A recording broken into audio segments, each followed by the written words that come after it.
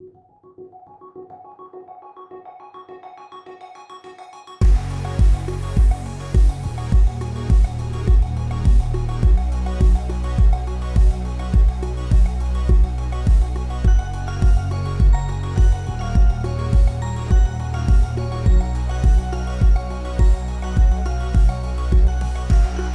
The building we're in now, H Block, was first brought about in September 1944, so it's the oldest dedicated computer centre on the planet.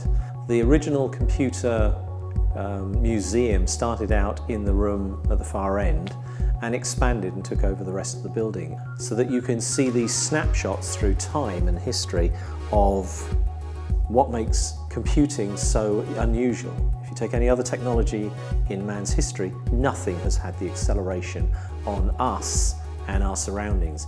There are other museums around the world that have different exhibits, but none that have one from each historical era. If you take the EDSAC, for instance, back in 1949 it was first turned on.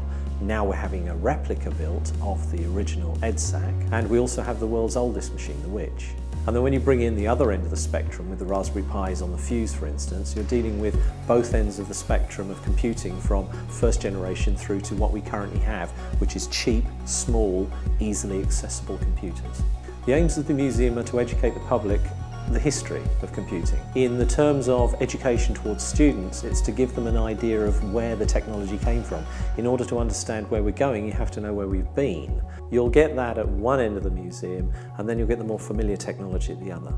Gives you a whole story, and it gives you a quick, encapsulated afternoon walking through history, because it goes from big machines to the room size to this.